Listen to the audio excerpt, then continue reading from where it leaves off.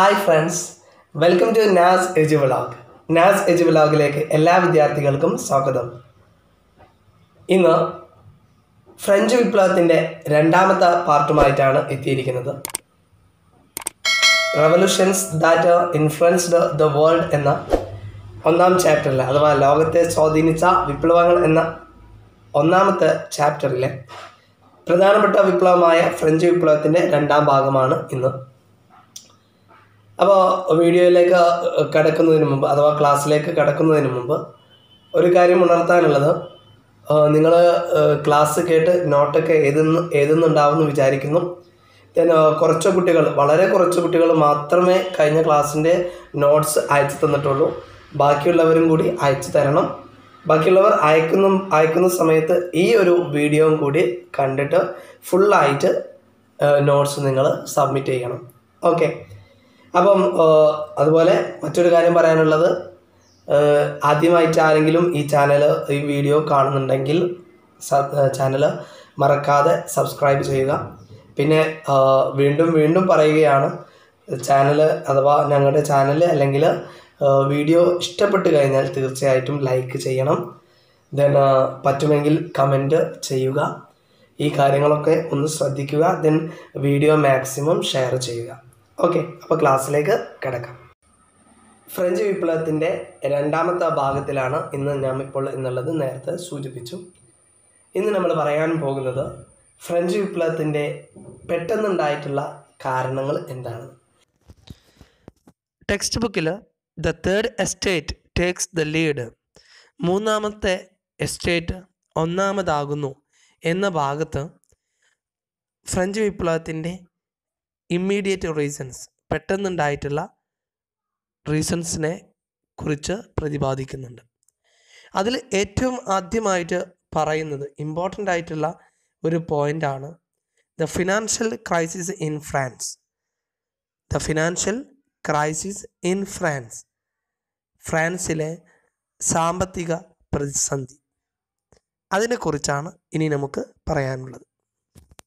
ഫ്രാൻസിൽ ഉണ്ടായിട്ടുള്ള സാമ്പത്തിക പ്രതിസന്ധിക്ക് കാരണം പ്രധാനമായിട്ടും നാല് പോയിന്റുകളാണ് നാല് പോയിന്റാണ് ഫ്രാൻസിൽ ഉണ്ടായിട്ടുള്ള സാമ്പത്തിക പ്രതിസന്ധിക്ക് കാരണം. ഒന്നാമത്തത് luxurious life of kings comma clergy and lords എന്ന് പറഞ്ഞിരിക്കുന്നത് ലക്ഷൂറിയസ് ലൈഫ് ഓഫ് കിങ്സ് രാജാക്കന്മാരുടെ ആഡംബരം ജീവിതം കൊമ ക്ലർജി പുരോഹിതന്മാരുടെ ജീവിതം ആൻഡ് ലോഡ്സ് പ്രഭുക്കന്മാരുടെ ജീവിതം.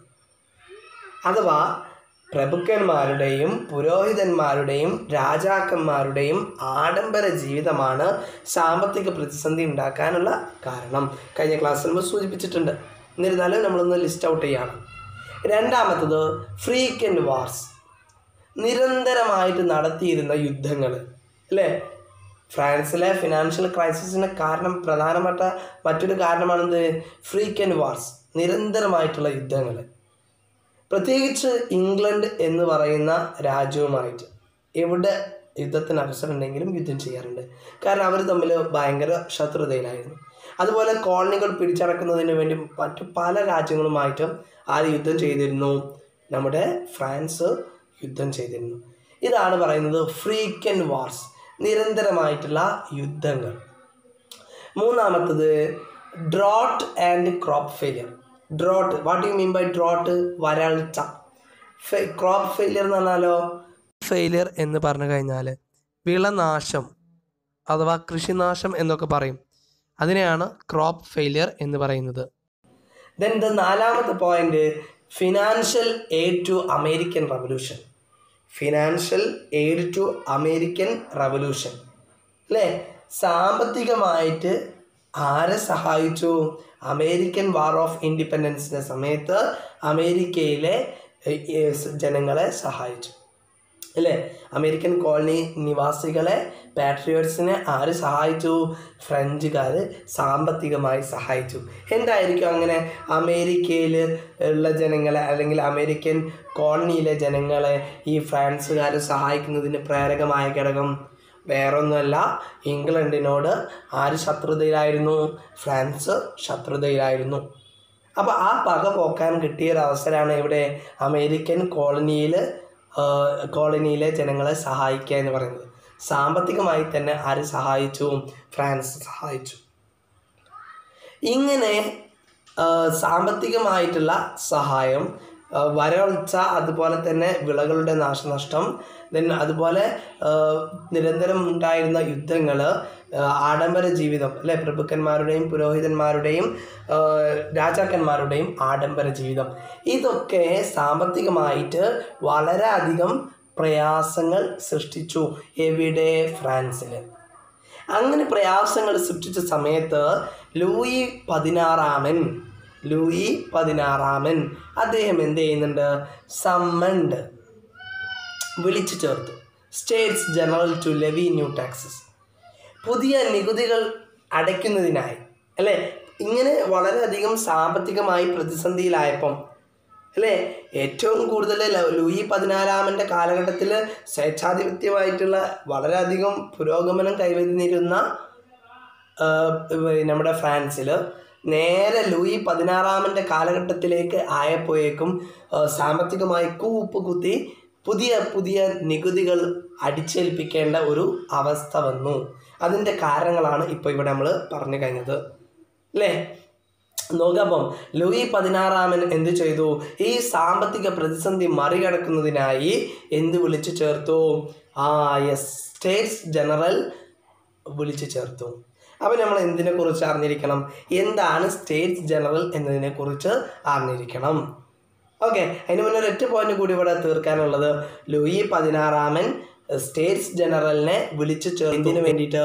ടു ലെവി ന്യൂ ടാക്സസ് പുതിയ നികുതികൾ ചുമത്തുന്നതിനായി സ്റ്റേറ്റ് ജനറലിനെ വിളിച്ചു ചേർത്തു. അപ്പം ആരാണ് ഈ സ്റ്റേറ്റ് ജനറൽ അവരെന്താണ് തീരുമാനിക്കുന്നത് എന്നുള്ള കാര്യമാണ് പറയാൻ പോകുന്നത്. അപ്പോൾ ആദ്യമായിട്ട് നമുക്ക് അറിഞ്ഞിരിക്കേണ്ട ഒരു പ്രധാനപ്പെട്ട ഏരിയയാണ് സ്റ്റേറ്റ്സ് ജനറൽ.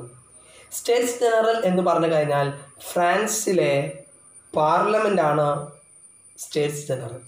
ഫ്രാ ഫ്രഞ്ച് പാർലമെന്റാണ് സ്റ്റേറ്റ്സ് ജനറൽ എന്ന് പറയുന്നത്. ഈ സ്റ്റേറ്റ്സ് ജനറൽ നൂറ്റി എഴുപത്തി അഞ്ച് വർഷങ്ങൾക്ക് ശേഷമാണ് ആയിരത്തി എഴുന്നൂറ്റി എൺപത്തി ഒമ്പതിൽ വീണ്ടും ഒന്നുകൂടി സമ്മേളിക്കുന്നത്. ഇതിനു മുന്നേ ആയിരത്തി അറുന്നൂറ്റി പതിനാലിലാണ് സ്റ്റേറ്റ്സ് ജനറൽ അവസാനമായിട്ട് സമ്മേളിച്ചിട്ടുള്ളത്. അപ്പോൾ തന്നെ നിങ്ങൾക്ക് ആലോചിച്ചാൽ അറിയാം ഫ്രഞ്ച് പാർലമെന്റ് ആയിട്ടുള്ള സ്റ്റേറ്റ്സ് ജനറൽ നൂറ്റി എഴുപത്തഞ്ചോളം വർഷങ്ങൾ പ്രവർത്തിച്ചിട്ടില്ല എങ്കിൽ വർക്ക് ചെയ്തിട്ടില്ല എങ്കിൽ എത്രമാത്രം ഏകാധിപത്യ ഭരണമാണ് അവിടെ നടന്നിരുന്നതെന്ന് നിങ്ങൾക്ക് ആലോചിച്ചാൽ തന്നെ അറിയാം. ഓക്കെ നിങ്ങൾക്ക് ആലോചിച്ചാൽ മനസ്സിലാകും. എന്നാൽ അപ്പോൾ നൂറ്റി എഴുപത്തഞ്ച് വർഷങ്ങൾക്ക് ശേഷം ആയിരത്തി എഴുന്നൂറ്റി എൺപത്തി ഒമ്പതിൽ സ്റ്റേറ്റ്സ് ജനറൽ കൂടിച്ചേരുന്നത് എന്തിനു വേണ്ടിയിട്ടാ? ആ സാമ്പത്തികമായി വളരെയധികം ബുദ്ധിമുട്ട് അനുഭവിക്കുന്ന ഫ്രാൻസിനെ ഒന്ന് കരകയറ്റാൻ ഫ്രഞ്ച് ഭരണം ഒന്നുകൂടി മെച്ചപ്പെടുത്താൻ അല്ലേ? ഫ്രാൻസിലെ സാമ്പത്തിക പ്രതിസന്ധി മറികടക്കുന്നതിന് വേണ്ടിയിട്ടാണ് ആയിരത്തി എഴുന്നൂറ്റി എൺപത്തൊമ്പതിൽ ഈ സ്റ്റേറ്റ്സ് ജനറൽ വിളിച്ചു ചേർക്കുന്നത്. അതിനുള്ള പ്രധാനപ്പെട്ട തീരുമാനം വേറെ ഒന്നല്ല ഇതായിരുന്നു നികുതി വർധനവ്. അല്ലേ? ഒരുപാട് പുതിയ നികുതികൾ ചുമത്തുകയും നികുതി വർദ്ധിപ്പിക്കുകയും ചെയ്യുക. അപ്പോൾ ഈ നികുതി വർധനവ് എന്ന് കേട്ടാൽ തന്നെ നിങ്ങൾക്കറിയാം ഒന്നാമത്തെ വിഭാഗമായ പുരോഹിതന്മാർക്ക് നികുതിയുണ്ടോ ഇല്ല. രണ്ടാമത്തെ വിഭാഗമായ പ്രഭുക്കന്മാർക്ക് നികുതിയുണ്ടോ ഇല്ല. മൂന്നാമത്തെ വിഭാഗമായിട്ടുള്ള കോമൺസിന് സാധാരണക്കാർക്കാണ് എന്തുള്ളത്? ഈ നികുതിയുടെ ഭാരം മുഴുവനുള്ളത്. അപ്പോൾ ഇനി ഇനി ഞാൻ പറയുന്നത് ശ്രദ്ധിച്ച് കേട്ടാൽ നിങ്ങൾക്ക് ഇതിന്റെ സീക്രട്ട് മനസ്സിലാകും. നൂറ്റി എഴുപത്തഞ്ച് വർഷങ്ങൾക്ക് ശേഷം ആയിരത്തി എഴുന്നൂറ്റി എൺപത്തൊമ്പതിലെ സ്റ്റേറ്റ്സ് ജനറൽ വിളിച്ചു ചേർക്കുമ്പോൾ അന്നത്തെ നിയമപ്രകാരം ഓരോ എസ്റ്റേറ്റിനും ഓരോ വോട്ടാണ് ഓരോ എസ്റ്റേറ്റിനും ഓരോ വോട്ട് ഫസ്റ്റ് എസ്റ്റേറ്റിനാണ് ഒരു വോട്ട് സെക്കൻഡ് എസ്റ്റേറ്റിനാണ് മറ്റൊരു വോട്ട് തേർഡ് എസ്റ്റേറ്റ് ആയിട്ടുള്ള കോമൺസിനാണ് മറ്റൊരു വോട്ട് മെമ്പേഴ്സിനെ നോക്കിയിട്ടല്ല വോട്ടുള്ളത് മറിച്ച് ഓരോ എസ്റ്റേറ്റിനുമാണ് വോട്ടുള്ളത് ആകെ മൂന്ന് എസ്റ്റേറ്റാണ് ടോട്ടൽ എത്ര വോട്ടുണ്ട്? മൂന്ന് വോട്ടുകളാണുള്ളത്. അങ്ങനെ മൂന്ന് വോട്ടുകളുള്ള സമയത്ത് നിങ്ങൾ മനസ്സിലാക്കേണ്ട ഒരു കാര്യമുണ്ട്. ഞാൻ പറഞ്ഞു സ്റ്റേറ്റ് ജനറലിൽ മൂന്ന് വിഭാഗമുള്ളത് ആ മൂന്ന് എസ്റ്റേറ്റുകൾ ആ മൂന്ന് എസ്റ്റേറ്റുകൾക്കും ഓരോ വോട്ട്. രാജാവ് ഒരു പുതിയ നിർദ്ദേശം അഥവാ ലൂയി പതിനാറാമൻ പുതിയ നിർദ്ദേശം ഇടുന്നു. എന്താ പുതിയ നിർദ്ദേശം? ആ പുതുതായിട്ട് നികുതികൾ ചുമത്തുന്നു. അതോടൊപ്പം നികുതി വർദ്ധിപ്പിക്കാൻ തീരുമാനിച്ചിരിക്കുന്നു. സാമ്പത്തിക പ്രതിസന്ധി മറികടക്കാൻ വേണ്ടിയിട്ടാണ്. ഇത് ആരുടെ തലയിൽ പോയിട്ടാ വീയ? രാജാക്കന്മാർ സോറി പ്രഭുക്കന്മാരുടെ തലയിലാണോ? അല്ല. ദെൻ പുരോഹിതന്മാരുടെ തലയിലാണോ? അല്ല. എത്തുന്നത് സാധാരണക്കാരുടെ തലയിലാണ് അപ്പോൾ വീണ്ടും സാധാരണക്കാരുടെ പ്രയാസങ്ങൾ വർദ്ധിക്കണം. ഇങ്ങനൊരു അവസ്ഥ വന്നപ്പം ഇതിനെ ആര് ചോദ്യം ചെയ്യാൻ തീരുമാനിച്ചു? മൂന്നാമത്തെ എസ്റ്റേറ്റിലെ മെമ്പേഴ്സ് ആയിട്ടുള്ള കോമൺസ് ചോദ്യം ചെയ്യാൻ തീരുമാനിച്ചു. അതിന്റെ ഭാഗമായി മൂന്നാമത്തെ എസ്റ്റേറ്റ് മൂന്ന് സഭകളും ഒരുമിച്ച് ചേരണമെന്നും ഒരാൾക്ക് ഒരു വോട്ട് എന്ന തത്വത്തിൽ സഭാ നടപടികൾ ആരംഭിക്കണമെന്നും സഭാ നടപടികൾ നടത്തണമെന്നും ആവശ്യപ്പെട്ടു. സഭാ നടപടികൾ ഒരാൾക്ക് ഒരു വോട്ട് എന്ന തത്വത്തിൽ നടപ്പിലാക്കണമെന്ന് മൂന്നാമത്തെ എസ്റ്റേറ്റ് ആവശ്യപ്പെട്ടു. എന്നാൽ ഈ ആവശ്യത്തെ ഒന്നാമത്തെ എസ്റ്റേറ്റും രണ്ടാമത്തെ എസ്റ്റേറ്റും അംഗീകരിച്ചില്ല. എന്തായിരിക്കും ഒന്നാമത്തെ എസ്റ്റേറ്റും രണ്ടാമത്തെ എസ്റ്റേറ്റും ഈ ഒരു നയത്തെ അംഗീകരിക്കാത്തത് ഈ ഒരു ആവശ്യത്തെ അംഗീകരിക്കാത്തത്? അതിനൊരു കാരണമുണ്ട്. ഒന്നാമത്തെ എസ്റ്റേറ്റിൽ ഇരുന്നൂറ്റി എൺപത്തി അഞ്ചും രണ്ടാമത്തെ എസ്റ്റേറ്റിൽ മുന്നൂറ്റി എട്ടും മൂന്നാമത്തെ എസ്റ്റേറ്റിൽ അറുന്നൂറ്റി ഇരുപത്തൊന്ന് അംഗങ്ങളുമാണ് ഉള്ളത്. ഒന്നാമത്തെ എസ്റ്റേറ്റും രണ്ടാമത്തെ എസ്റ്റേറ്റും അംഗീകരിച്ചാൽ പോലും അഥവാ രാജാവിന്റെ നിയമങ്ങളെ അല്ലെങ്കിൽ രാജാവിന്റെ പുതിയ നിയമങ്ങളെ അംഗീകരിച്ചാൽ പോലും അത് പാസ്സാവുകയില്ല. കാരണം അറുന്നൂറ്റി ഇരുപത്തിയൊന്ന് മെമ്പേഴ്സ് ഉണ്ട് എവിടെ? തേർഡ് എസ്റ്റേറ്റിൽ ഇരുന്നൂറ്റി എൺപത്തഞ്ചും മുന്നൂറ്റി എട്ടും കൂട്ടിയാൽ നിങ്ങൾക്കറിയാം എത്രയാണ്? അഞ്ഞൂറ്റി തൊണ്ണൂറ്റി മൂന്ന് മെമ്പേഴ്സേ ആവുള്ളൂ. പക്ഷേ അതിനേക്കാളും കൂടുതൽ മെമ്പേഴ്സ് ഏത് എസ്റ്റേറ്റിലുണ്ട് തേർഡ് എസ്റ്റേറ്റിലുണ്ട് അതിനാൽ ഈ ഒന്നാമത്തെ എസ്റ്റേറ്റും രണ്ടാമത്തെ എസ്റ്റേറ്റും ഈ തേർഡ് എസ്റ്റേറ്റിന്റെ ആവശ്യത്തെ തള്ളിക്കളഞ്ഞു എതിർത്തു. തേർഡ് എസ്റ്റേറ്റ് ആയിട്ടുള്ള കോമൺസിന്റെ എല്ലാവർക്കും വോട്ട് നൽകണമെന്ന ആവശ്യം രണ്ടാമത്തെ എസ്റ്റേറ്റും ഒന്നാമത്തെ എസ്റ്റേറ്റും തള്ളിക്കളഞ്ഞപ്പോൾ ഇതിനെതിരെ പ്രതിഷേധിച്ചുകൊണ്ട് കോമൺസ് അഥവാ തേർഡ് എസ്റ്റേറ്റ് പാർലമെന്റ് വിട്ട് പുറത്തു പോവുകയും ഞങ്ങളാണ് ഫ്രാൻസിലെ ദേശീയ അസംബ്ലി എന്ന് പ്രഖ്യാപിച്ചുകൊണ്ട് അടുത്തുള്ള ടെന്നീസ് കോർട്ടിൽ സമ്മേളിക്കുകയും ചെയ്തു. ഈ ടെന്നീസ് കോർട്ടിൽ വെച്ച് അവർ പുതുതായിട്ട് ചില തീരുമാനങ്ങൾ എടുത്തു. എന്തൊക്കെയാണ് ആ തീരുമാനങ്ങൾ? ദേശീയ അസംബ്ലി എന്ന് സ്വയം നാമകരണം ചെയ്ത ദേശീയ അസംബ്ലി എന്ന് സ്വയം പ്രഖ്യാപിച്ച മൂന്നാമത്തെ എസ്റ്റേറ്റ് അഥവാ കോമൺസ് അടുത്തുള്ള ടെന്നീസ് കോർട്ടിൽ ആയിരത്തി എഴുന്നൂറ്റി എൺപത്തി ഒമ്പത് ജൂൺ ഇരുപതിന് സമ്മേളിക്കുകയും ഫ്രാൻസിന് സ്വന്തമായി ഒരു ഭരണഘടന രൂപീകരിക്കുന്നതുവരെ തയ്യാറാക്കുന്നതുവരെ ഞങ്ങൾ ഇവിടം വിട്ട് പോവുകയില്ലെന്നും അവിടെ നിന്ന് പ്രതിജ്ഞ ചെയ്യുന്നു. ഇതാണ് ടെന്നീസ് കോർട്ട് ഓത്ത് എന്നറിയപ്പെടുന്നത്. വളരെ ഇമ്പോർട്ടന്റ് ആണ് ടെന്നീസ് കോർട്ട് ഓത്ത്. എന്താണ് Tennis Court Oath? Tennis Court പ്രതിജ്ഞ എന്ന് പറഞ്ഞു കഴിഞ്ഞാൽ ആയിരത്തി എഴുന്നൂറ്റി എൺപത്തൊമ്പത് ജൂൺ ഇരുപതിന് ഞങ്ങളാണ് ഫ്രാൻസിലെ ദേശീയ അസംബ്ലി എന്ന് പ്രഖ്യാപിച്ചുകൊണ്ട് തേർഡ് എസ്റ്റേറ്റ് അടുത്തുള്ള ടെന്നീസ് കോർട്ടിൽ ഒരുമിച്ച് ചേരുകയും ഫ്രാൻസിന് സ്വന്തമായി ഒരു ഭരണഘടന രൂപീകരിക്കുന്നത് വരെ ഇവിടം വിട്ട് പോവുകയില്ല എന്ന് പ്രതിജ്ഞ ചെയ്യുകയും ചെയ്തു. ഇതാണ് ടെന്നീസ് കോർട്ട് ഓത്ത് എന്നറിയപ്പെടുന്നത്. ഇംഗ്ലീഷ് മീഡിയത്തിന് വേണ്ടിയിട്ട് ഞാൻ ആ ടെക്സ്റ്റിലെ പ്രധാനപ്പെട്ട പോയിന്റ്സുകളൊന്ന് പറയാണ്. അപ്പോൾ ആദ്യം തന്നെ അതിൽ പറയുന്നത് third estates takes the lead എന്ന സൈഡ് ഹെഡിങ്ങിന് കീഴിൽ ആദ്യമായിട്ട് പറയുന്നത് luxurious life of Bourbon kings എന്ന പോയിന്റാണ് ചർച്ച ചെയ്യുന്നത്. അത് നേരത്തെ നമ്മൾ പറഞ്ഞു ഡിസ്കസ് ചെയ്യേണ്ട എന്ന് വിചാരിക്കുന്നു. ദെൻ നെക്സ്റ്റ് രണ്ടാമത്തെ പോയിന്റ് അതിൽ പറയുന്നത് ഡ്രോട്ട് ആൻഡ് ക്രോപ്പ് ഫെയിലിയർ ഇത് നേരത്തെ നമ്മൾ ഡിസ്കസ് ചെയ്തതാണ്. മൂന്നാമത്തത് മൂന്നാമത്തെ പോയിന്റ് എന്ന് പറയുന്നത് ഫ്രീക്വന്റ് വാൾസ് അല്ലേ? ഫ്രീക്വന്റ് വാൾസിനെ കുറിച്ചും അതിൽ പറയുന്നുണ്ട്. നാലാമത്തെ പോയിന്റ് പറയുന്നത് yes financial and military assistance given to America അല്ലേ? Financial and military assistance given to America അമേരിക്കയ്ക്ക് സാമ്പത്തികമായിട്ടും അതുപോലെ സൈന്യമായിട്ടും എന്ത് ചെയ്യുന്നുണ്ട്? സഹായം നൽകുന്നുണ്ട്. ഇതൊക്കെയാണ് സാമ്പത്തിക പ്രതിസന്ധി എവിടെ ഉണ്ടാവാൻ കാരണമായിട്ടുള്ളത്? അമേരിക്ക സോറി ഫ്രാൻസിൽ ഉണ്ടാവാൻ കാരണമായിട്ടുള്ളത്. ഈ ഒരു ഭാഗമാണ് ആദ്യമായിട്ട് അതിൽ ചർച്ച ചെയ്യുന്നത്. വായിക്കേണ്ട ആവശ്യമില്ല എന്ന് വിചാരിക്കുന്നു. അത് ഞാൻ പോയിന്റ് ആയിട്ട് സ്ക്രീനിൽ കാണിച്ചിട്ടുണ്ട്. ഓക്കെ ഇനി അതിന്റെ ശേഷമുള്ള കാര്യമാണ് നമ്മളൊന്ന് വായിക്കുന്നത്. ശ്രദ്ധിച്ചു കേൾക്കുക to levy new taxes upon commoners അല്ലേ? To levy new taxes upon commoners പുതുതായിട്ട് ഒരു നികുതി ചുമത്തുന്നതിനായി അഥവാ ഈ സാമ്പത്തിക പ്രതിസന്ധി മറികടക്കുന്നതിനായി പുതുതായിട്ട് നികുതി ചുമത്തുന്നതിനായി ആരുടെ മേലിൽ കോമണേഴ്സ് അല്ലേ? സാധാരണക്കാരുടെ മേലിൽ അല്ലേ? സാധാരണക്കാരായ തേർഡ് എസ്റ്റേറ്റിലെ മെമ്പേഴ്സിന് മുകളിൽ പുതുതായിട്ട് നികുതി ചുമത്തുന്നതിന് വേണ്ടി ലൂയി പതിനാറാമൻ ലൂയിസ് ലൂയി സിക്സ്റ്റീൻ അല്ലേ? Louis sixteen summoned the States General. Louis sixteen summoned the State General. Louis sixteen എന്ത് ചെയ്യുന്നുണ്ട്? ഒരു സ്റ്റേറ്റ് ജനറൽ വിളിച്ചു ചേർത്തു. കഴിഞ്ഞില്ല. എന്നിട്ടോ the legislative assembly of the representatives from all the three estates.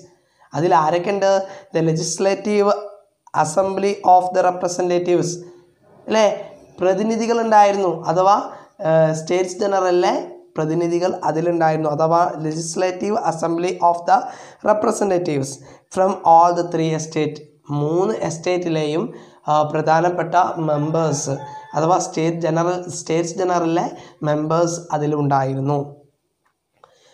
എന്നാണ് ഇങ്ങനെ ഒരു മീറ്റിംഗ് അറേഞ്ച് ചെയ്തിട്ടുള്ളത്? ഇൻ സെവന്റീൻ എയ്റ്റി നയൻ ആയിരത്തി എഴുന്നൂറ്റി എൺപത്തൊമ്പതിലാണ് ഇങ്ങനൊരു സംഭവം നടത്തിയിരുന്നത്. Similar to the French society the States General also had three estates French സമൂഹത്തിലെ അവസ്ഥയെപ്പോലെ അല്ലേ? ഫ്രാൻസിലുള്ള ആ, ഒരു സമൂഹത്തിലുള്ള ഘടനയെപ്പോലെ തന്നെ ഫ്രഞ്ച് പാർലമെന്റിലും എന്തുണ്ടായിരുന്നു? മൂന്ന് വിഭാഗമുണ്ടായിരുന്നു മൂന്ന് എസ്റ്റേറ്റുകൾ ഉണ്ടായിരുന്നു ദെൻ കഴിഞ്ഞില്ല. ട്രഡീഷണലി ഈച്ച് എസ്റ്റേറ്റ്സ് അല്ലേ പാരമ്പര്യമായിട്ട് ഓരോ എസ്റ്റേറ്റുകളും would vote as a group ഓരോ പാരമ്പര്യമായിട്ട് അഥവാ നിലവിലുള്ള രീതി എന്ന് പറഞ്ഞു കഴിഞ്ഞാൽ ഓരോ വിഭാഗത്തിനും ഓരോ വോട്ടാണ്. അല്ലേ? അതാണ് നിലവിലുള്ള രീതി എന്ന് പറഞ്ഞത്. Traditionally each estate would vote as a group അല്ലേ? ഓരോ എസ്റ്റേറ്റുകളും ഓരോ ഗ്രൂപ്പായിട്ടാണ് വോട്ട് ചെയ്തിരുന്നത്. അല്ലേ? എന്നിട്ട് പറയാണ് ആൻഡ് ഹാഡ് വൺ വോട്ട്. അവർക്ക് ഉണ്ടായിരുന്നത് ഒരു വോട്ടാണ്. ആസ് എ റിസൾട്ട് അതിന്റെ അനന്തരഫലമായിക്കൊണ്ട് the nobility and clergy could always overrule the third estate. അതുകൊണ്ട് തന്നെ ഈ ഒരു സംഭവം ഉള്ളത് കൊണ്ട് തന്നെ ഒന്നാമത്തെ എസ്റ്റേറ്റ് അഥവാ നൊബിലിറ്റി എന്ന് പറയുന്നത് അല്ലേ? രണ്ടാമത്തെ എസ്റ്റേറ്റ് ക്ലർച്ചി എന്ന് പറയുന്നത് ഇവർ എല്ലായ്പ്പോഴും എന്ത് ചെയ്തിരുന്നു? തേർഡ് എസ്റ്റേറ്റിന്റെ മുകളിൽ ആധിപത്യം നേടിയിരുന്നു. രാജാവ് എന്ത് തീരുമാനം കൊണ്ടുവന്നു കഴിഞ്ഞാലും അത് ആർക്ക് എതിരായി മാറി? തേർഡ് എസ്റ്റേറ്റിന് എതിരായി മാറി. കാരണം എന്താ? മൂന്നിൽ രണ്ട് വോട്ടും ലഭിക്കുന്നത് കൊണ്ട് ഏത് നിയമവും പാസ്സാവും the first two estates argued for ആദ്യത്തെ രണ്ട് എസ്റ്റേറ്റുകളും ആവശ്യപ്പെട്ടിരുന്നു. എന്തിനു വേണ്ടിയിട്ട്? Argued for estate wise single voting system എസ്റ്റേ ഓരോ എസ്റ്റേറ്റുകൾക്കും ഓരോ വോട്ട് എന്നുള്ള കാര്യത്തിന് കാര്യത്തെ അല്ലെങ്കിൽ അങ്ങനത്തെ ഒരു സംഭവത്തെ ആരാവശ്യപ്പെട്ടു ഈ ആദ്യത്തെയും രണ്ടാമത്തെയും നൊബിലിറ്റിയും ക്ലർജിയും എന്ത് ചെയ്തു? ആവശ്യപ്പെട്ടു. ഓരോ എസ്റ്റേറ്റിനും ഓരോ വോട്ട് മതി എന്ന് അവർ ആവശ്യപ്പെട്ടു. എന്നാൽ വൈൽ ദ തേർഡ് എസ്റ്റേറ്റ് എന്നാൽ മൂന്നാമത്തെ എസ്റ്റേറ്റ് എന്ത് ചെയ്യുന്നുണ്ട്? The commons commons demand individual vote for each members of all the three estates മൂന്ന് എസ്റ്റേറ്റിലെ മെമ്പേഴ്സിനും ഇൻഡിവിജ്വലായിട്ട് ഓരോ വ്യക്തിക്കും ഓരോ വോട്ട് വോട്ട് വേണമെന്ന് ഓരോ വ്യക്തിക്കും ഓരോ വോട്ട് വേണമെന്ന ആവശ്യം ആര് പറഞ്ഞു? ഈ തേർഡ് എസ്റ്റേറ്റിലെ മെമ്പേഴ്സ് പറഞ്ഞു. The members of the third estate declared മൂന്നാമത്തെ എസ്റ്റേറ്റിലെ മെമ്പേഴ്സ് എന്ത് ചെയ്യുന്നുണ്ട്? ഡിക്ലെയർ ചെയ്യുന്നുണ്ട്. ദംസെൽസ് സ്വയം. എന്താ അവർ സ്വയം ഡിക്ലെയർ ചെയ്യുന്നത്? As the National Assembly of France അവരാണ് ഫ്രാൻസിലെ ദേശീയ അസംബ്ലി എന്ന് അവർ സ്വയം പ്രഖ്യാപിക്കുന്നു. They assembled in the tennis court near by അവർ അടുത്തുള്ള ടെന്നീസ് കോർട്ടിൽ ഒരുമിച്ച് ചേരുന്നു. And swore not to leave until they had framed a constitution swore not leave അവിടുന്ന് അവർ പ്രഖ്യാപിക്കുകയാണ്. സോർ എന്ന് പറഞ്ഞാൽ പ്രഖ്യാപിക്കുക പ്രതിജ്ഞ ചെയ്യുക. നോട്ട് ലീവ് ഇവിടെ നിന്ന് പോവുകയില്ല. Until they had framed a constitution ഒരു കോൺസ്റ്റിറ്റ്യൂഷൻ ഫ്രെയിം ചെയ്യുന്നത് വരെ. ഫ്രാൻസിന് സ്വന്തമായിട്ട് ഒരു ഭരണഘടന ഉണ്ടാക്കുന്നത് വരെ ഞങ്ങൾ ഇവിടം വിട്ട് പോവുകയില്ല എന്ന് അവർ അവിടെ നിന്നും പ്രഖ്യാപിക്കുന്നു. This event is known as the Tennis Court ഈ ഇവന്റാണ് ചരിത്രത്തിൽ ടെന്നീസ് കോട്ട് എന്ന് ടെന്നീസ് കോട്ട് ഓത്ത് എന്നറിയപ്പെടുന്നത്. ഈ ഒരു സംഭവമാണ് ചരിത്രത്തിലെ ടെന്നീസ് കോട്ട് ഓത്ത് എന്ന് അറിയപ്പെടുന്നത്. ടെന്നീസ് കോട്ട് ഓത്തിന് ശേഷം അഥവാ ടെന്നീസ് കോട്ട് പ്രതിജ്ഞയ്ക്ക് ശേഷം ശക്തമായ പ്രക്ഷോഭങ്ങളാണ് ഫ്രാൻസിൽ അരങ്ങേറിയത്. അതിനുള്ള പ്രധാനപ്പെട്ട കാരണം ടെന്നീസ് കോർട്ട് പ്രതിജ്ഞയിൽ പങ്കെടുത്ത അഥവാ ദേശീയ അസംബ്ലി രൂപീകരിച്ച എല്ലാ നേതാക്കന്മാരെയും പെട്ടെന്ന് തന്നെ അറസ്റ്റ് ചെയ്യുമെന്നുള്ള ഒരു കിംവദന്തി ഫ്രാൻസിൽ ആകമാനം പ്രചരിച്ചു. കടുത്ത ഭക്ഷ്യക്ഷാമം കൊണ്ടും വരൾച്ച കൊണ്ടും വളരെയധികം പ്രയാസം അനുഭവിച്ചിരുന്ന ഫ്രാൻസിലെ ജനങ്ങൾക്ക് ഈ ഒരു വാർത്ത കേട്ട സമയത്ത് അവർ കൂടുതൽ പ്രകോപിതരായി. തുടർന്ന് ഫ്രാൻസിലെ പ്രഭുക്കന്മാരുടെയും ജന്മിമാരുടെയും വീടുകളൊക്കെ കൊള്ളയടിക്കുകയും മറ്റ് ധനകാര്യ സ്ഥാപനങ്ങൾ കവർച്ച ചെയ്യപ്പെടുകയും അതോടൊപ്പം ഭക്ഷ്യ ധാന്യ കലവറുകളൊക്കെ കൊള്ളയടിക്കുകയും ചെയ്തു. തുടർന്ന് ശക്തമായ കലാപം തന്നെ അവിടെ പൊട്ടിപ്പുറപ്പെട്ടു.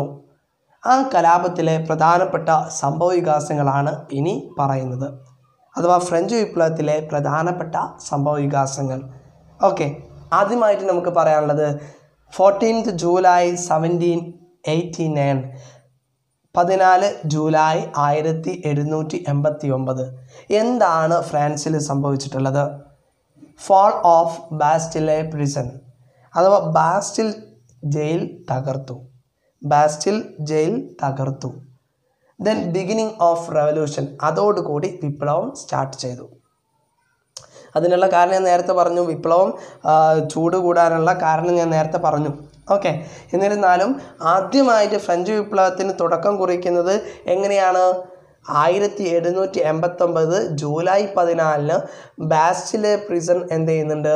തകർത്തുന്നുണ്ട് ബാസ്റ്റിൽ പ്രിസൺ എന്ത് ചെയ്യുന്നുണ്ട്? തകർക്കുന്നുണ്ട്. Bastille jail okay. എന്നിട്ടോ? ബിഗിനിങ് ഓഫ് റെവല്യൂഷൻ അങ്ങനെയാണ് ആദ്യമായിട്ട് റെവല്യൂഷൻ ആരംഭിക്കുന്നത്. ഈ റെവല്യൂഷൻ ആരംഭിക്കുന്നതിന് മുമ്പ് അവിടെ ഒരു മുദ്രാവാക്യം ഒഴുങ്ങിയിരുന്നു. ഏതായിരുന്നു ആ മുദ്രാവാക്യം? ലിബർട്ടി ഈക്വാലിറ്റി ഫ്രറ്റേണിറ്റി സ്ഥിരമായിട്ട് അറിഞ്ഞ് പി എസ് സികൾക്കൊക്കെ ചോദിക്കാറുള്ള ഒരു ക്വസ്റ്റ്യനാണിത് ലിബർട്ടി ഈക്വാലിറ്റി ഫ്രറ്റേണിറ്റി എന്താ ലിബർട്ടി എന്ന് പറഞ്ഞാൽ സ്വാതന്ത്ര്യം? ഈക്വാലിറ്റി എന്ന് പറഞ്ഞാൽ സമത്വം. ഫ്രറ്റേണിറ്റി എന്ന് പറഞ്ഞാൽ സാഹോദര്യം. അല്ലേ? അപ്പം സ്വാതന്ത്ര്യം സമത്വം സാഹോദര്യം. എന്ന മുദ്രാവാക്യം ഏത് സമരത്തിന്റെ ഭാഗമായി ഉണ്ടായതാണ് ഫ്രഞ്ച് റവല്യൂഷൻ. ഫ്രഞ്ച് വിപ്ലവത്തിന്റെ മുദ്രാവാക്യമാണ് ഏതെന്ന് പറയുന്നത്? Liberty equality fraternity. No taxation without പ്രസൻ representation അല്ലേ? പ്രാതിനിധ്യമില്ലാതെ നികുതിയില്ല എന്ന മുദ്രാവാക്യം ഏതിന്റെതായിരുന്നു? American war of ഇൻഡിപെൻഡൻസിന്റെതായിരുന്നു. അല്ലെ അമേരിക്കൻ സ്വാതന്ത്ര്യ സമരത്തിന്റെ ഭാഗമായിരുന്നു പ്രാതിനിധ്യമില്ലാതെ നികുതിയില്ല എന്നുള്ളത്. എന്നാൽ ഫ്രഞ്ച് റവല്യൂഷന്റെ മുദ്രാവാക്യമാണിത്. Liberty equality fraternity. അപ്പം ഈ മുദ്രാവാക്യം മുഴക്കിക്കൊണ്ടാണ് ആയിരത്തി എഴുന്നൂറ്റി എൺപത്തി ഒമ്പത് ജൂലൈ പതിനാലിന് ബാസ്റ്റിൽ ജയിൽ തകർത്തിട്ടുള്ളത്. ആ കാര്യം നിങ്ങൾ ഓർമ്മിച്ച് വെക്കുക രണ്ടാമത്തെ സംഭവം എന്ന് പറയുന്നത് ആയിരത്തി എഴുന്നൂറ്റി എൺപത്തി ഒമ്പത് ഓഗസ്റ്റ് പന്ത്രണ്ടിനാണ്. എന്താണ് ആ സംഭവം? Declaration of the rights of men അഥവാ മനുഷ്യാവകാശ പ്രഖ്യാപനം. മനുഷ്യാവകാശ പ്രഖ്യാപനം ആരാ നടത്തുന്നത്? ബൈ നാഷണൽ അസംബ്ലി ദേശീയ അസംബ്ലി ഫ്രാൻസിലെ ദേശീയ അസംബ്ലി മനുഷ്യാവകാശ പ്രഖ്യാപനം നടത്തുന്നു. ഏത് വർഷമാണ്? ആയിരത്തി എഴുന്നൂറ്റി അമ്പത്തൊമ്പത് ഏത് മാസമാണ്? ഓഗസ്റ്റ് സോറി ഓഗസ്റ്റ് അഥവാ ആഗസ്റ്റ് പന്ത്രണ്ട്. ഓക്കെ ആഗസ്റ്റ് പന്ത്രണ്ടിനാണ് എന്ത് ചെയ്തിട്ടുള്ളത്? മനുഷ്യാവകാശ പ്രഖ്യാപനം നടത്തുന്നത്. ദെൻ മൂന്നാമത്തെ ഇവന്റ് എന്ന് പറഞ്ഞത് ആയിരത്തി എഴുന്നൂറ്റി എൺപത്തൊമ്പത് ഒക്ടോബറിൽ. എന്താണ് സംഭവ വികാസം? March to Versailles palace. Versailles കൊട്ടാരത്തിലേക്ക് വേഴ്സായ് കൊട്ടാരത്തിലേക്ക്. ഇംഗ്ലീഷ് മീഡിയക്കാർ ശ്രദ്ധിക്കുക പ്രൊനൗൺസ് ചെയ്യേണ്ടത് Versailles. Okay march to Versailles palace. Versailles കൊട്ടാരത്തിലേക്ക് ഒരു മാർച്ച് നടത്തി. ഓക്കെ എന്തിന് എന്താവശ്യപ്പെട്ടുകൊണ്ടാണ് മാർച്ച് നടത്തിയത്? ഗീവ് അസ് ബ്രെഡ് ഞങ്ങൾക്ക് ബ്രെഡ് തരൂ. ഞങ്ങൾക്ക് ബ്രെഡ് തരൂ എന്ന് പറഞ്ഞുകൊണ്ട് വ്യവസായ കൊട്ടാരത്തിലേക്ക് ജനങ്ങൾ എന്ത് ചെയ്യുന്നു? പ്രത്യേകിച്ച് സ്ത്രീകളും കുട്ടികളും എന്ത് ചെയ്യുന്നു? ഒരു പ്രകടനം നടത്തുന്നു. ഇതാണ് എന്തെന്ന് പറഞ്ഞത്?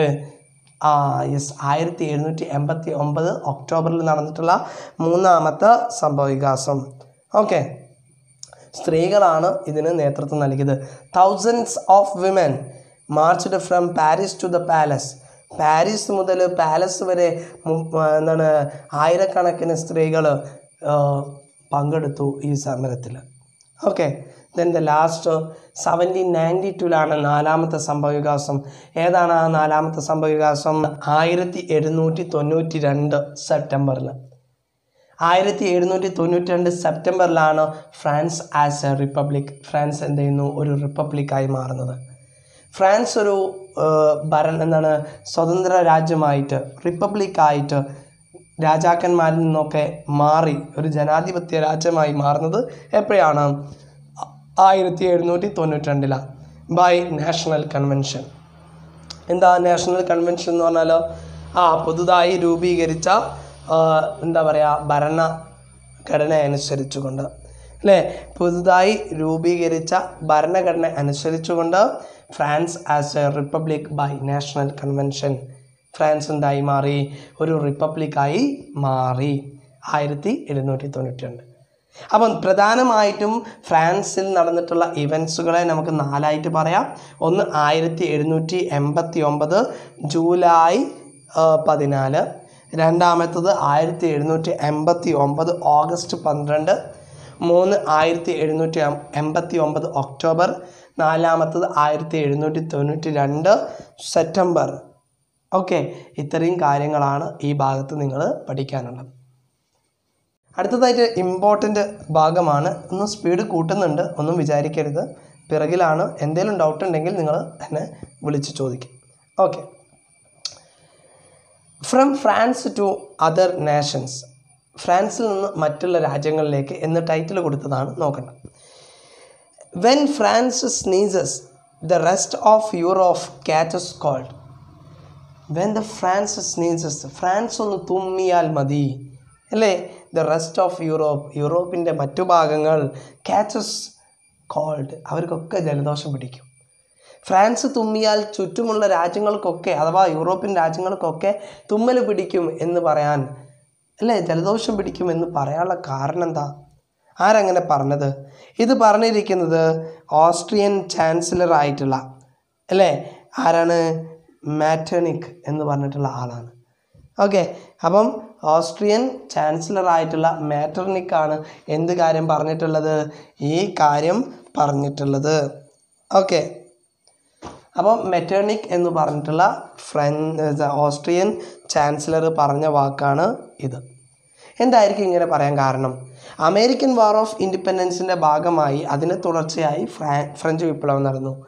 ഫ്രാൻസിൽ ഇങ്ങനൊരു നല്ല ശക്തമായ വിപ്ലവം ഉണ്ടായപ്പം തൊട്ടടുത്തുള്ള രാജ്യങ്ങൾക്കൊക്കെ എന്തുണ്ടായി? ഏകാധിപത്യ രാ എന്താണ് ഭരണരീതി പിന്തുടർന്ന രാജ്യങ്ങളൊക്കെ ഒന്ന് ചെറുതായിട്ട് പേടിച്ചു. എന്താ കാരണം? ഫ്രാൻസ് ഇങ്ങനെ ഒരു എന്താ പറയുക ഫ്രാൻസിൽ ഇങ്ങനെ ഒരു വിപ്ലവം ഉണ്ടായി. അവിടെ ഒരു ജനാധിപത്യ രാജ്യം രൂപീകരിക്കപ്പെട്ടപ്പം ഇതിനി ഞങ്ങളുടെ നാട്ടിലേക്കും വരുമോ എന്നൊരു പേടിയുണ്ടായി. അതുകൊണ്ടാണ് ഇങ്ങനെ അദ്ദേഹം പറഞ്ഞത്. അല്ലേ? ഏതായാലും വേണ്ടിയില്ല നമുക്ക് ഇവിടെ നമുക്ക് നോക്കാനുള്ളത് ആ കോട്ടിൽ നിന്നും മനസ്സിലാക്കാനുള്ളത് what are the impacts of French revolution French റെവല്യൂഷന്റെ impacts എന്തൊക്കെയാണ്? ഫ്രഞ്ച് റെവല്യൂഷന്റെ ഇമ്പാക്ട്സ് എന്ന് പറയുന്നത് ഒന്ന് സ്റ്റിമുലേറ്റഡ് ലേറ്റർ റെവല്യൂഷൻസ് പിൽക്കാലത്ത് നടന്ന എല്ലാ വിപ്ലവങ്ങൾക്കും പ്രചോദനമേകി. അല്ലേ? പിൽക്കാലത്ത് നടന്നിട്ടുള്ള എല്ലാ വിപ്ലവങ്ങൾക്കും പ്രചോദനമേകുന്നതിന് എന്ത് കാരണമായി? ആവേശം പകരുന്ന സ്റ്റിമുലേറ്റ് ചെയ്യാന്ന് പറഞ്ഞാൽ ആവേശം പകരുന്നതിന് എന്ത് കാരണമായി? ഈ ഇമ്പാക്റ്റ് സോറി ഫ്രഞ്ച് റവല്യൂഷൻ കാരണമായി. അപ്പം എന്താ പറഞ്ഞിരിക്കുന്നത്? Stimulated later revolutions. എല്ലാ വിപ്ലവങ്ങൾക്കും പിൽക്കാലത്ത് നടന്നിട്ടുള്ള എല്ലാ വിപ്ലവങ്ങൾക്കും ആവേശം പകർന്നു. End of feudalism in Europe യൂറോപ്പിൽ നിലവിലുണ്ടായിരുന്ന ഫ്യൂഡലിസം എന്ത് ചെയ്തു? തകർന്നു. നാഷൻ ഈസ് പീപ്പിൾ ജനങ്ങൾ എന്താകുന്നു? രാഷ്ട്രമാകുന്നു. നോട്ട് മിയർ റീജിയൻ അതെന്തല്ല? ആ പ്രദേശമല്ല. പ്രദേശമല്ല. ജനങ്ങളാണ് എന്തെന്ന് പറഞ്ഞത്? രാഷ്ട്രം എന്ന് പറയുന്നത്. രാഷ്ട്രം എന്ന് പറയുന്നത് ജനങ്ങളാണ് മറിച്ച് എന്തല്ല പ്രദേശമല്ല. ദെൻ അടുത്ത് കൺസെപ്റ്റ് ഓഫ് സോവറിന്റി അല്ലേ? കൺസെപ്റ്റ് ഓഫ് സോവറിന്റി എന്താണ്? പരമാധികാരം എന്ന ഒരു ആശയം രൂപീകൃതമായി. എമർജൻസ് ഓഫ് നാഷണലിസം അല്ലേ? നാഷണലിസം എന്ന് പറയുന്ന ഒരു സംഭവം എന്ത് ചെയ്തു? എമർജ് ചെയ്തു വന്നു. ദേശീയത എന്ന് പറയുന്ന കോൺസെപ്റ്റ് എന്ത് ചെയ്തു? വളർന്നു വന്നു. Then growth of middle class മധ്യവർഗ വിഭാഗത്തിന്റെ ഒരു ഉന്നമനം ഉണ്ടായി വളർച്ച ഉണ്ടായി end of autocratic rule in Europe യൂറോപ്പിലെ ഓട്ടോക്രാറ്റിക് റൂൾ അഥവാ പര എന്താണ് ഏകാധിപത്യ ഭരണം അവസാനിച്ചു. യൂറോപ്പിലെ ഏകാധിപത്യ ഭരണം അവസാനിച്ചു. ദെൻ മധ്യവർഗ വിഭാഗത്തിന്റെ വളർച്ചയ്ക്ക് സഹായകമായി. ദെൻ ദേശീയത എന്ന് പറയുന്നത് ഉയർന്നു വന്നു. ദെൻ അതുപോലെ പരമാധികാരം എന്ന ആശയം ഉയർന്നു വന്നു. ദെൻ അതുപോലെ നാഷൻ ഈസ് പീപ്പിൾ ജനങ്ങൾ എന്ന് പറഞ്ഞാൽ സോറി ദേശീയത ദേശം എന്ന് പറഞ്ഞാൽ ദേശീയത എന്ന് പറഞ്ഞാൽ ഒരു ദേശം എന്ന് പറഞ്ഞാൽ അത് ജനങ്ങളാകുന്നു. എന്തല്ല? നോട്ട് മിയർ റീജിയൻ പ്രദേശം മാത്രമല്ല. ഒരാൾ ഒരു രാജ്യത്തിന് സ്ഥലം മാത്രം പോരാ അതിൽ ജനങ്ങൾ വേണം. ആ ജനങ്ങൾ അടങ്ങിയതാണ് എന്തെന്നുള്ളത് രാഷ്ട്രം എന്ന് പറയുന്നത്. അത് ഭരണാധികാരികൾ മനസ്സിലാക്കണം എന്നാണ് ഉദ്ദേശിച്ചത് ഇതിനടുത്ത് എൻഡ് ഓഫ് ഫ്യൂഡലിസം ഫ്യൂഡലിസത്തിന് അവസാനം കുറിച്ചു ഇൻ യൂറോപ്പ് യൂറോപ്പിൽ ദെൻ സ്റ്റിമുലേറ്റഡ് ലേറ്റർ റവല്യൂഷൻസ് എല്ലാ പിൽക്കാലത്ത് നടന്നിട്ടുള്ള വിപ്ലവങ്ങൾക്കും ആവേശം പകർന്നത് ഫ്രഞ്ച് വിപ്ലവമായിരുന്നു. അതിന്റെ മുദ്രാവാക്യം തന്നെ നോക്കിയാൽ അറിയാം അല്ലേ? ലിബർട്ടി ഈക്വാലിറ്റി ഫ്രറ്റേണിറ്റി സ്വാതന്ത്ര്യം സമത്വം സാഹോദര്യം. ഇതാണ് എന്ത്? French revolution. ഫ്രഞ്ച് വിപ്ലവം ലോകത്താകമാനം സ്വാധീനം ചെലുത്തിയപ്പോൾ ഇന്ത്യയിലെ മൈസൂരിലും ഒരു ഭരണാധികാരിയെ ഫ്രഞ്ച് വിപ്ലവം സ്വാധീനിച്ചിട്ടുണ്ട്. ഏതാണ് ആ ഭരണാധികാരി? മൈസൂർ സുൽത്താനായിട്ടുള്ള ടിപ്പു സുൽത്താനായിരുന്നു ഫ്രഞ്ച് വിപ്ലവത്തിന്റെ സ്വാ ഫ്രഞ്ച് വിപ്ലവം സ്വാധീനം ചെലുത്തിയ വ്യക്തി. സിറ്റിസൺ ടിപ്പു എന്ന പേരിൽ അദ്ദേഹം അറിയപ്പെടുകയും തുടർന്ന് ശ്രീരംഗപട്ടണം എന്ന സ്ഥലത്ത് അദ്ദേഹത്തിന്റെ ഭരണ ആസ്ഥാനത്ത് അദ്ദേഹം സ്വാതന്ത്ര്യത്തിന്റെ മരം ട്രീ ഓഫ് ലിബർട്ടി നടുകയും ചെയ്തു. ഈ ഭാഗം പറയാനുള്ള കാരണം പ്രധാനമായിട്ടും ഇത് പി എസ് സി പരീക്ഷകൾക്ക് ചോദിക്കുന്ന ഒരു ക്വസ്റ്റ്യനാണ് ട്രീ ഓഫ് ലിബർട്ടി പ്ലാന്റ് ചെയ്തത് ആര്? അഥവാ സ്വാതന്ത്ര്യത്തിന്റെ മരം നട്ടുപിടിപ്പിച്ചത് ആര്? ആരായിരുന്നു? ടിപ്പു സുൽത്താനായിരുന്നു. ആ കാര്യം ഒന്ന് അറിഞ്ഞിരിക്കാം. ഇനി നമ്മൾ അടുത്ത ഇമ്പോർട്ടന്റ് ആയിട്ടുള്ള ഭാഗത്തേക്ക് കടക്കാണ്. വേറൊന്നുമല്ല നെപ്പോളിയന്റെ ഭരണപരിഷ്കാരങ്ങൾ. നെപ്പോളിയന്റെ ഭരണപരിഷ്കാരങ്ങളെക്കുറിച്ചാണ് നമുക്കിനി ഈ ഭാഗത്ത് ഏറ്റവും ഇമ്പോർട്ടന്റ് ആയിട്ട് പഠിക്കാനുള്ളത്. അതിൽ ഞാൻ ഡീറ്റെയിൽ ആയിട്ടൊന്നും പോകുന്നില്ല. നിങ്ങൾ ടെക്സ്റ്റ് വായിക്കുക. എന്തെങ്കിലും ഡൗട്ട് ഉണ്ടെങ്കിൽ എന്നോട് ചോദിച്ചാൽ മതി. ഇപ്പോൾ നമുക്ക് എക്സാം ഓറിയന്റഡ് ആയിട്ട് ആ ഭാഗത്ത് നിന്ന് പഠിക്കാനുള്ളത്. റീഫോംസ് ഓഫ് നെപ്പോളിയൻ നെപ്പോളിയന്റെ ഭരണപരിഷ്കാരം. നെപ്പോളിയന്റെ ഭരണപരിഷ്കാരം ഒന്ന് farmers become owners of land നെപ്പോളിയന്റെ ഭരണപരിഷ്കാരം നിർബന്ധമായിട്ടും എക്സാമിന് ചോദിക്കുന്ന ഒന്നാണ് ഒരിക്കലും നിങ്ങൾ ഒഴിവാക്കി കളയരുത്. ഒന്നാമത്തെ point farmers became owners of land കർഷകന്മാരായിരിക്കണം ഭൂമിയുടെ അവകാശികൾ. അഥവാ ഭൂമിയുടെ ഒക്കെ അവകാശികളാക്കി ആരെ മാറ്റി? കർഷകരെ മാറ്റി. ഓക്കെ ഒന്നാമത്തെ കർഷകരുടെ കർഷകരെ കൃഷിഭൂമിയുടെ ഉടമകളാക്കി.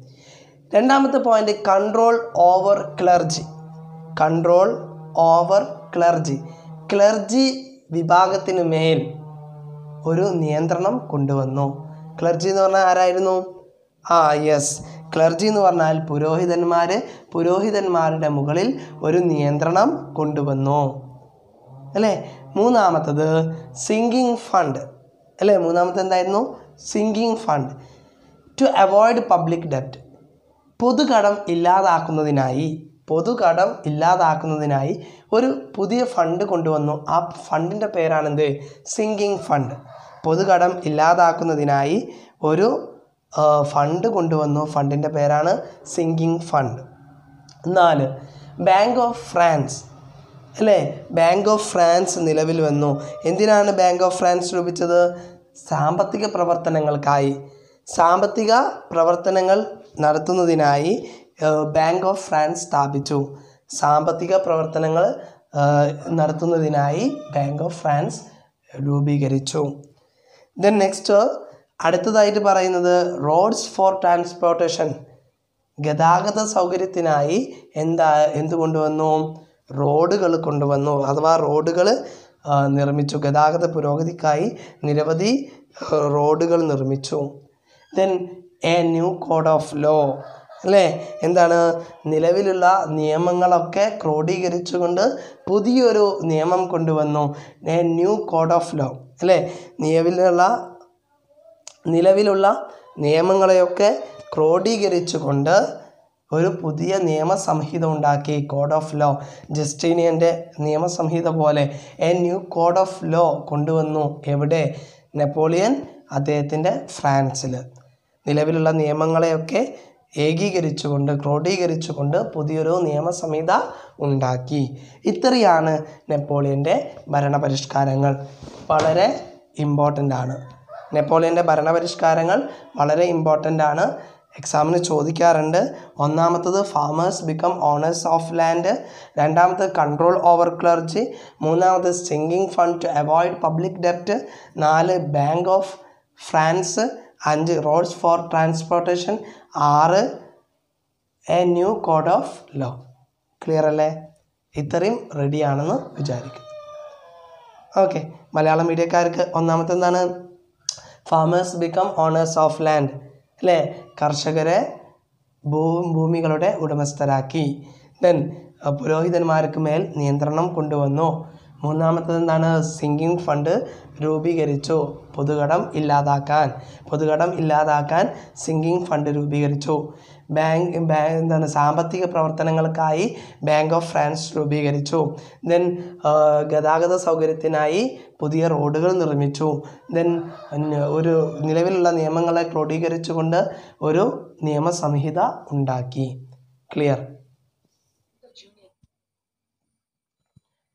ആയിരത്തി എഴുന്നൂറ്റി തൊണ്ണൂറ്റി ഒമ്പതിൽ ഫ്രാൻസിന്റെ ഭരണം നേടിയെടുത്ത നെപ്പോളിയൻ. അദ്ദേഹത്തിന്റെ യുദ്ധ മികവിലും അദ്ദേഹത്തിന്റെ ഭരണ വൈദഗ്ധ്യം കൊണ്ടും ജനങ്ങളുടെ മനം കവർന്നെങ്കിലും ആയിരത്തി എണ്ണൂറ്റി പതിനഞ്ചിൽ വാട്ടർലൂ എന്ന യുദ്ധത്തിൽ ബ്രിട്ടനോട് പരാജയപ്പെട്ടുകൊണ്ട് ഭരണത്തിൽ നിന്നും അദ്ദേഹം പുറത്താക്കപ്പെട്ടു. ഇതാണ് ഫ്രഞ്ച് വിപ്ലവത്തിൽ നമുക്ക് പ്രധാനമായിട്ടും അറിഞ്ഞിരിക്കേണ്ട സംഭവവികാസങ്ങൾ. അപ്പോൾ ഇന്നത്തെ ക്ലാസ് നിങ്ങൾക്ക് മനസ്സിലായി എന്ന് വിചാരിക്കുന്നു. നന്നായിട്ട് കൃത്യമായിട്ട് ഒന്നും കൂടി ഹെഡ്സെറ്റ് വെച്ച് തന്നെ നിങ്ങൾ കേൾക്കാൻ ശ്രമിക്കുക. എന്തെങ്കിലും ഡൗട്ടുകൾ ഉണ്ടെങ്കിൽ ചോദിക്കുക. പിന്നെ നെപ്പോളിയന്റെ ഭരണത്തിലേക്കുള്ള ആഗമനവും അദ്ദേഹത്തിന്റെ മറ്റ് രാജ്യങ്ങളോടുള്ള സമീപനങ്ങളൊക്കെ വലിയ വിഷയങ്ങളാണ്. നമുക്കിപ്പം ചർച്ച ചെയ്യേണ്ട ആവശ്യമില്ല. നമ്മൾ അറിഞ്ഞിരിക്കേണ്ട പ്രധാനപ്പെട്ട കാര്യങ്ങളൊക്കെ പറഞ്ഞിട്ടുണ്ട്. ബാക്കിയുള്ളതൊക്കെ എക്സ്ട്രാ റീഡിംഗ് ആയിട്ട് നിങ്ങളുടെ ടെക്സ്റ്റിലുണ്ട് അതൊക്കെ നന്നായിട്ട് വായിച്ച് നോക്കാം. ഇത്രയാണ് നമ്മൾ പ്രധാനമായിട്ട് അറിഞ്ഞിരിക്കേണ്ടത്. ഓക്കെ നന്നായിട്ടൊന്ന് വായിക്കുക പഠിക്കുക ദെൻ എന്തെങ്കിലും ഡൗട്ട് ഉണ്ടെങ്കിൽ ചോദിക്കാം. ദെൻ വീഡിയോ ഇഷ്ടമായിട്ടുണ്ടെങ്കിൽ ലൈക്ക് കമന്റ് മറക്കണ്ട. ദെൻ ചാനൽ സബ്സ്ക്രൈബ് ചെയ്യാത്തവർ സബ്സ്ക്രൈബ് ചെയ്യുക. Okay bye see you